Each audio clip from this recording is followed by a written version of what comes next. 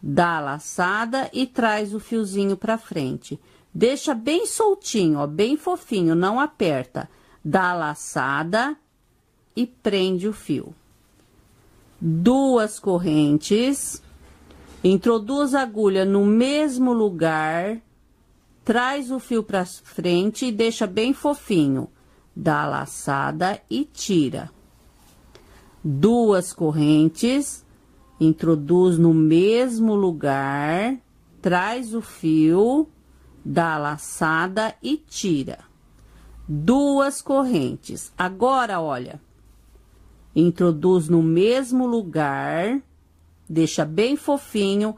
Agora, introduz a agulha um pouquinho mais à frente. Dá a laçada, olha, trouxemos o fio, dá a laçada e tira os três pontinhos que estão na agulha.